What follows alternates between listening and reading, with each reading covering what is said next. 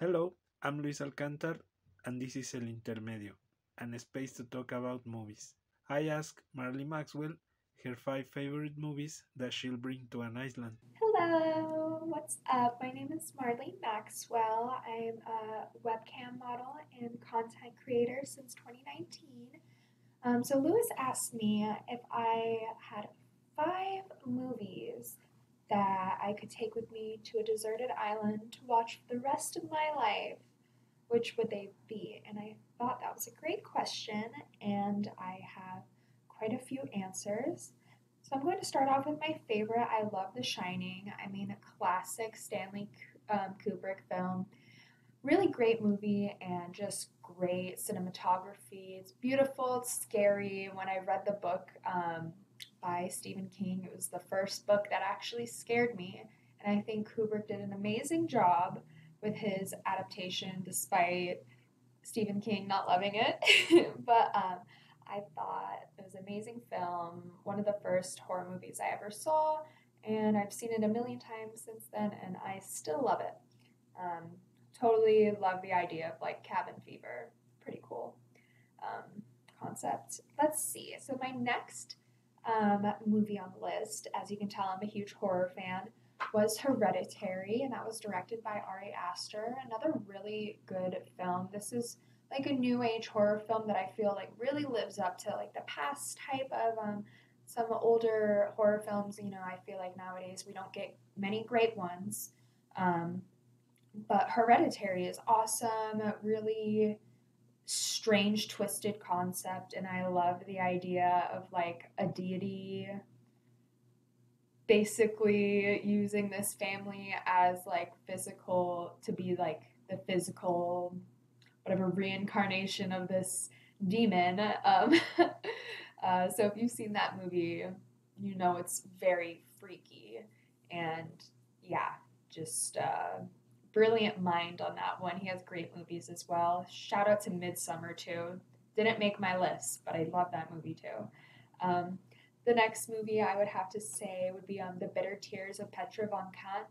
And this is um it's like a, a queer film about this um, lesbian fashion designer, and she's a bit toxic, and it's like this love triangle between um, two of her female assistants, and it gets it gets pretty uh, gets pretty messy. But it's a, another film. It's just one of those movies I think is just so beautifully produced. It's like the cinematography is just amazing and has an overall kind of dreary vibe like you can almost tell like something bad is gonna happen the whole movie. Um, but uh, yeah, I think it's a another great film and a, like definitely an iconic queer film for sure.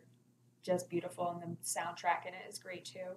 Um, so here's another one. Um, now the, these last two are kind of like wild cards. Um, the Godfather would be my fourth um, favorite movie. Just, I mean, obvious reasons. If you are into mobster films, this is one of the best, and I it reminds me of it's like a very nostalgic nostalgic film for me, and I think you know it's just an, a classic, and I love it. It's one of those movies I could put on and enjoy it every time, even though it's incredibly long. um, almost too long for my attention span sometimes, but I still love it. Just, you know, anything to do with Italian mobster films, I'm all in. Um, now, this last one surprised me when I saw it because I was not expecting to be. I was, you know, I wasn't expecting it to be anything special. Um, but Bullet Train, actually, um, the movie that just came out a few, I want to say last year or two years ago. Um, no, that's a great movie. I wasn't expecting it. You know, it's kind of just star-studded film. Um, you know, about these assassins on one train, and they're all kind of on their own paths and all this stuff going on. But the the idea behind it, I find that it actually had a really beautiful meaning behind it, um, despite it just being kind of this action flick, which is never really my kind of thing. But um, unless it's like The Godfather or um, Scarface. Um, so yeah, it actually I feel had um, it really revolved around luck and had some really good messages in it too, and um, really uh, revolved around luck and loyalty and like um, family. Surprisingly, it was a really great film, and I think it was way, way better than I expected it to be. And I'm happy I saw it because now it's one of my favorites. But yeah, those are all of my favorite movies. Thank you so much, Lewis, for asking me. I thought that was a really great question, and I had a lot of fun thinking about it. It took me a little bit to be like, hmm, what really are, to narrow it down to some of my favorite movies, what would it, like, what would they be? It's, it's quite hard. Um, but yeah, um, there some honorable mentions, I will say. Like I said, Midsommar, um, Scarface.